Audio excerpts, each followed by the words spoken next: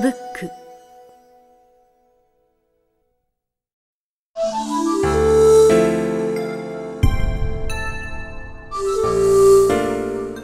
茶の本。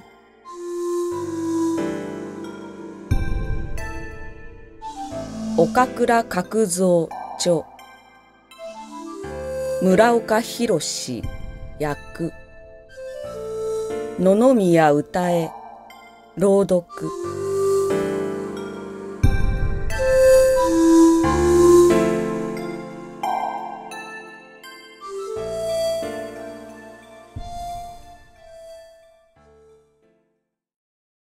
目次。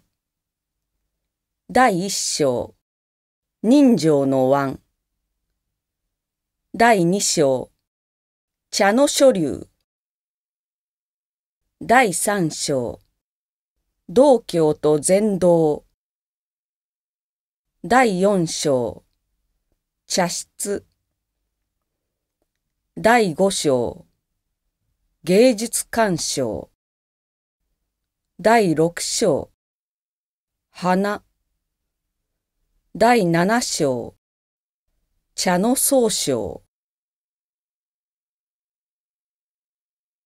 茶の本。第一章。人情の湾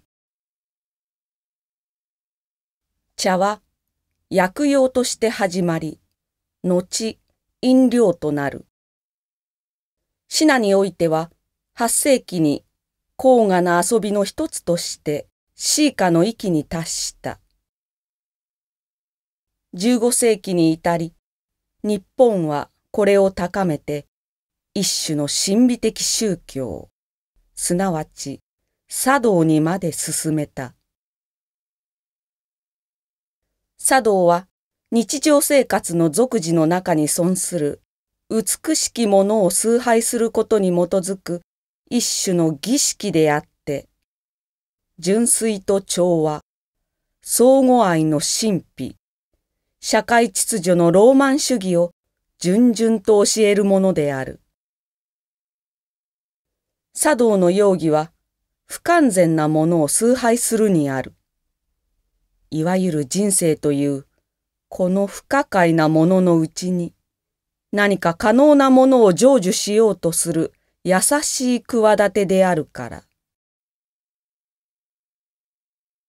茶の原理は普通の意味で言う単なる神秘主義ではないというのは倫理、宗教と合して天神に関する我々の一切の見解を表しているものであるから。それは衛生学である。清潔を厳しく説くから。それは経済学であるというのは複雑な贅沢というよりもむしろ単純のうちに慰安を教えるから。それは精神幾何学である。なんとなれば宇宙に対する我々の比例感を定義するから。それはあらゆるこの道の信者を趣味上の貴族にして東洋民主主義の新精神を表している。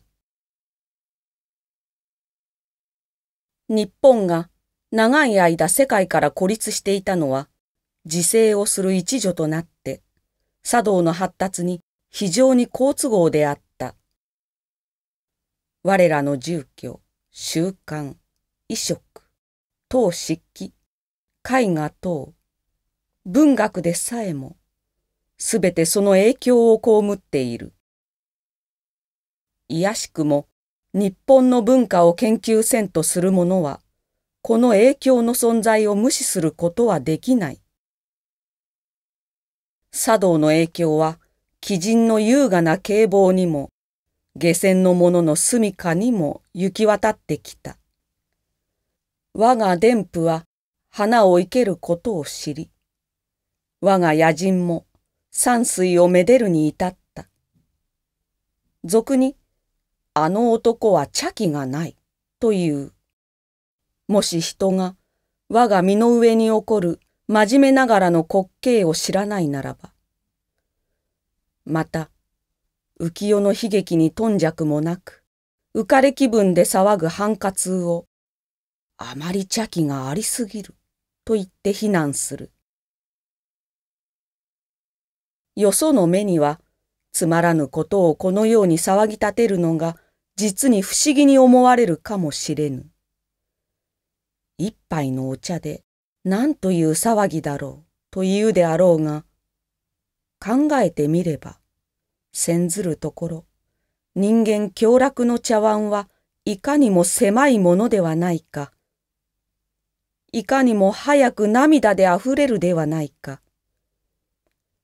無べを求める渇きの止まらぬあまり、一息に飲み干されるではないか。してみれば、茶碗をいくらもてはやしたとて、とがめ立てには及ぶまい。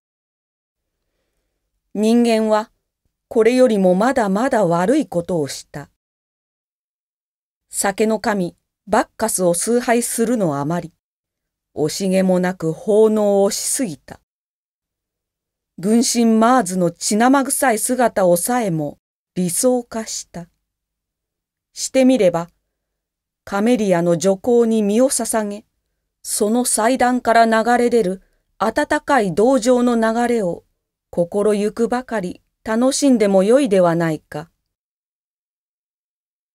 象牙色の時期に盛られた液体琥珀の中に、その道の心得ある人は、孔子の心よき沈黙、老子の奇形、釈迦牟尼の天井の香りにさえ触れることができる。己に損する偉大なるものの章を感ずることのできない人は、他人に損する小なるものの偉大を見逃しがちである。一般の西洋人は茶の湯を見て、東洋の珍奇、知気を成している千百の気壁のまたの例に過ぎないと思って、袖の下で笑っているであろう。西洋人は日本が平和な文芸にふけっていた間は野蛮国とみなしていたものである。しかるに、満州の戦場に大々的殺戮を行い始めてから文明国と呼んでいる。近頃武士道、我が兵士に喜び勇んで身を捨てさせる死の術について盛んに論評されてきた。しかし茶道にはほとんど注意が引かれていない。この道は我が生の術を多く説いているものであるが。もし我々が文明国たるためには血生臭い戦争の名誉によらなければならないとするならば、むしろいつまでも野蛮国に甘んじよう。我々は我が芸術及び理想に対して叱るべき尊敬が払われる時期が来るのを喜んで待とう。いつになったら西洋が東洋を了解するであろう。いな、了解しようと努めるであろう。我々アジア人は我々に関して織り出された事実や想像の妙な話にしばしば肝を冷やすことがある。我々はネズミやアブラムシを食べて生きているのでないとしても、ハスの香りを吸って生きていると思われている。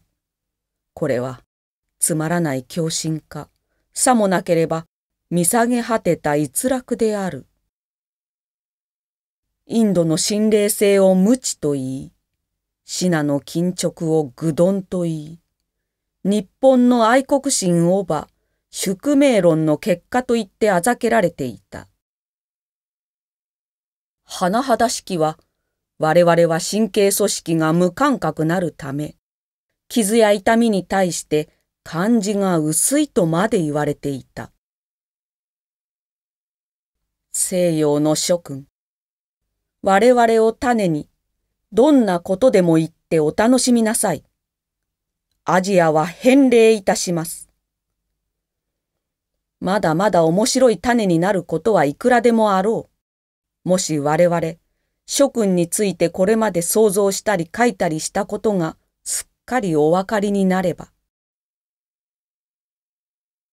すべて遠きものをば麗しと見、不思議に対して知らず知らず感服し、新しい不文明なものに対しては、口には出さねど憤るということがそこに含まれている。諸君はこれまで羨ましく思うこともできないほど立派な徳を負わされて、あまり美しくて咎めることのできないような罪を着せられている。我が国の昔の文人は、その当時の物知りであった。まあ、こんなことを言っている。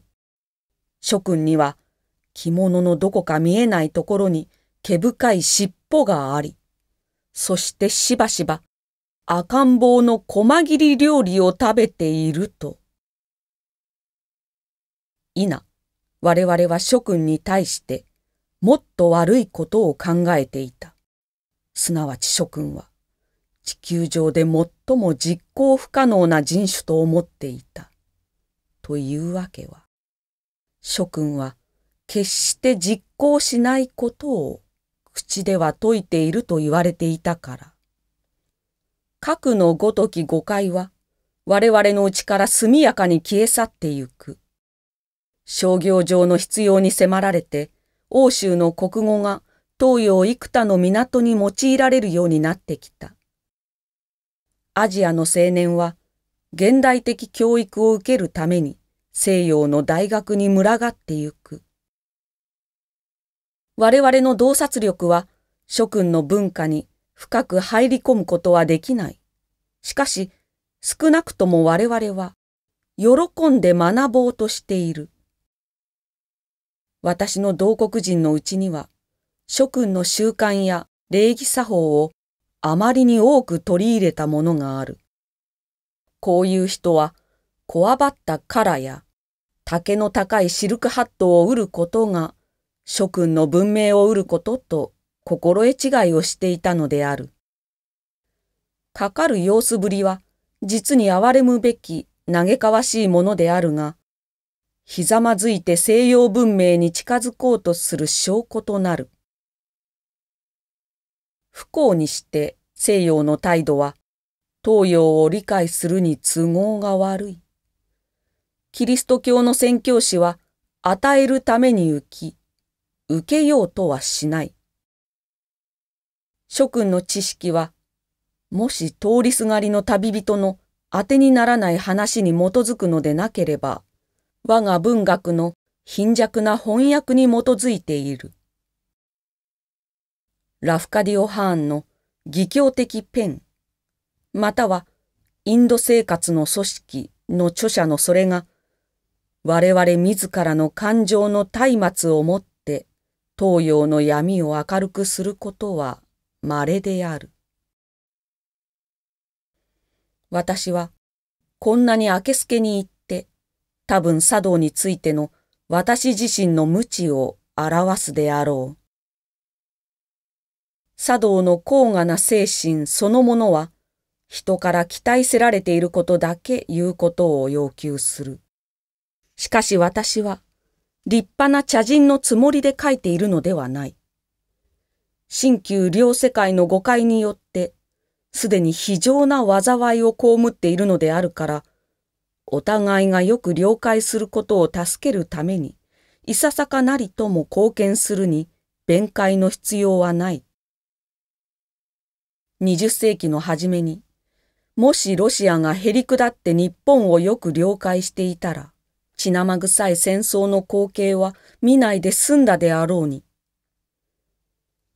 東洋の問題を蔑んで度外視すれば、何という恐ろしい結果が人類に及ぶことであろう。ヨーロッパの帝国主義は、高価の馬鹿げた叫びを上げることを恥じないが、アジアもまた、発火の恐るべきを悟るに至るかもしれないということは分かりかねている。諸君は我々をあまり茶器がありすぎると笑うかもしれないが、我々はまた西洋の諸君には天性茶器がないと思うかもしれないではないか。東西両大陸が互いに危険な批評を飛ばすことはやめにして、東西互いに得る利益によって、よし物が分かってこないとしても、お互いに柔らかい気持ちになろうではないか。お互いに違った方面に向かって発展してきているが、しかし互いに長短愛補わない道理はない。諸君は心の落ち着きを失ってまで膨張発展を遂げた。我々は侵略に対しては弱い調和を想像した。諸君は信ずることができますか？東洋はある点で西洋に勝っているということを。不思議にも人情は今までのところ茶碗に東西相合している。茶道は世界的に重んぜられている唯一のアジアの儀式である。白人は我が宗教道徳を嘲笑した。しかし、この褐色飲料は躊躇もなく受け入れてしまった。午後の喫茶は今や西洋の社会における重要な役を務めている。盆や茶卓の打ち合う微妙な音にも、年頃にもてなす婦人の柔らかい絹ずれの音にも、また、クリームや砂糖を勧められたり断ったりする普通の問答にも、茶の崇拝は疑いもなく確立しているということがわかる。渋いか甘いか疑わしい煎茶の味は、客を待つ運命に任せて諦める。この一時にも東洋精神が強く現れているということがわかる。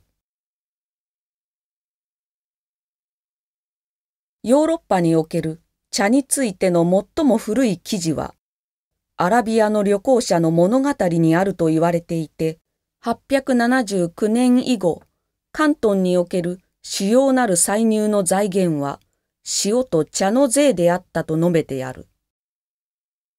マルコ・ポーロは、シナの四白氏が茶税を勝手に増したために、1285年、免職になったことを記録している。ヨーロッパ人が極東について一層多く知り始めたのは、実に大発見時代の頃である。16世紀の終わりにオランダ人は、東洋において干木の葉から爽やかな飲料が作られることを報じた。ジオバーニ・バティスタ・ラムージオ、1559年。エル・アルメイダ、1576年。マフェノ、1588年。タレーラ、1610年。らの旅行者たちもまた茶のことを述べている。1610年にオランダ東インド会社の船がヨーロッパに初めて茶を輸入した。1636年にはフランスに伝わり、1638年にはロシアにまで達した。英国は1650年これを喜び迎えてかの卓絶せる、かつすべての医者の推奨するシナ飲料。シナ人はこれを茶と呼び、他国民はこれをテイ、またはティーと呼ぶ、と言っていた。この世のすべての良いものと同じく、茶の普及もまた反対にあった。ヘンリー・セイビル、1678年。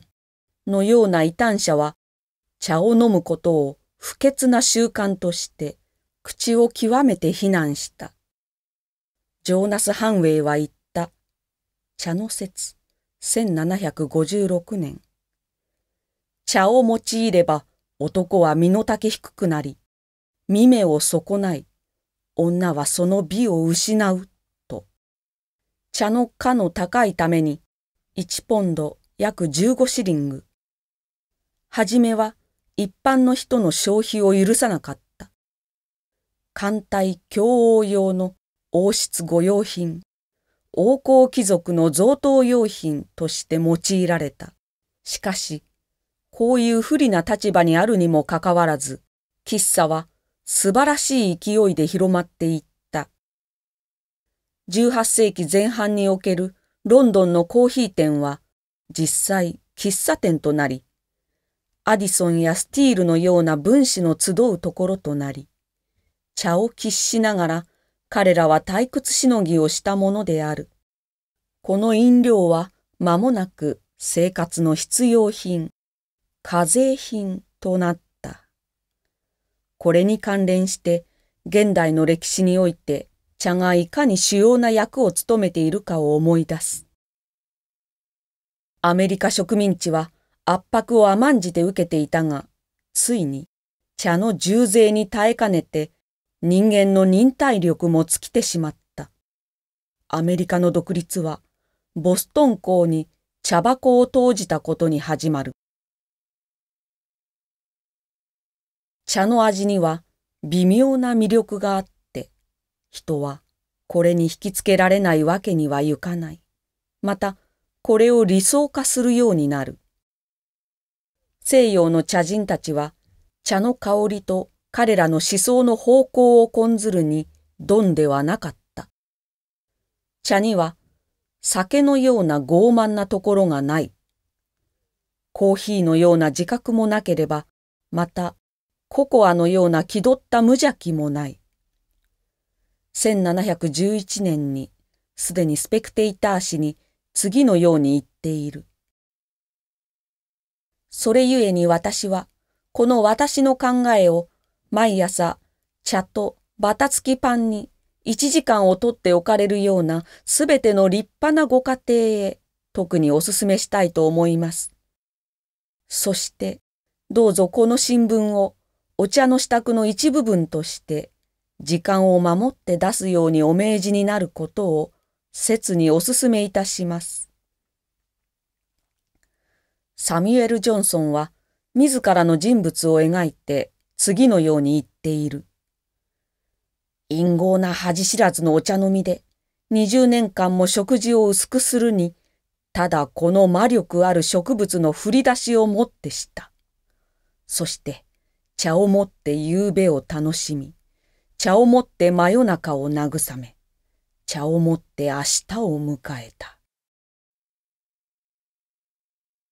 本当の茶人、チャールズ・ラムは、密かに善を行って、偶然にこれが現れることが何よりの愉快である。というところに茶道の真髄を伝えている。というわけは、茶道は美を見出さんがために美を隠す術であり、表すことをはばかるようなものをほのめかす術である。この道は己に向かって落ち着いてしかし十分に笑う気高い奥義である。したがって、ヒューマーそのものであり、悟りの微笑である。すべて真に茶を介する人は、この意味において茶人と言ってもよかろう。例えば、サッカレー、それからシェイクスピアはもちろん、文芸敗退期の詩人もまた、と言っても、いずれの時か敗退期でなかろう。物質主義に対する反抗のあまり、いくらか茶道の思想を受け入れた。多分今日においても、この不完全を真摯に静観してこそ、東西相返して互いに慰めることができるであろう。同教とは言う。無視の始めにおいて心と物が決死の相当をした。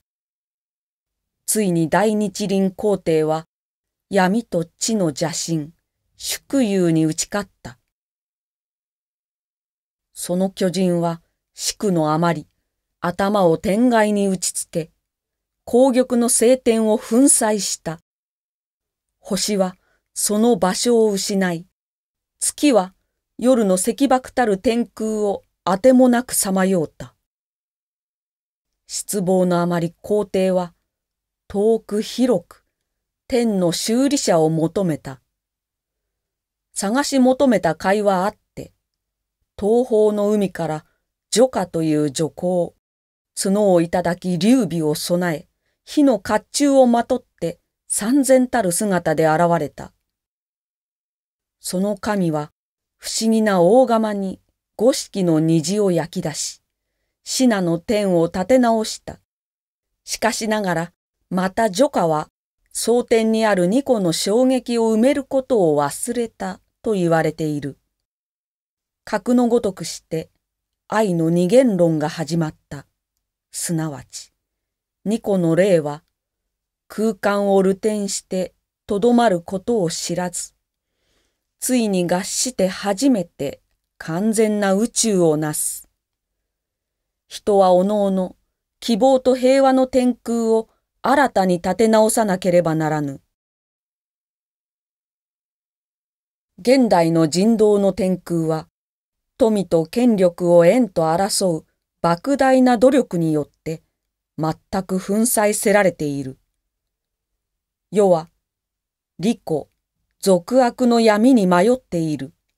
知識は心にやましいことをして得られ、人は実利のために行われている。東西両用は立ち騒ぐ海に投げ入れられた二流のごとく、人生の宝玉を得ようとすれど、その甲斐もない。この大荒廃を作ろうために、再び除化を必要とする。我々は大権下の出現を待つ。まあ、茶でも一口すすろうではないか。明るい午後の日は竹林に生え、潜水は嬉しげな音を立て、将来は我が茶釜に聞こえている。儚いことを夢に見て、美しい取り留めのないことを、あれやこれやと考えようではないか。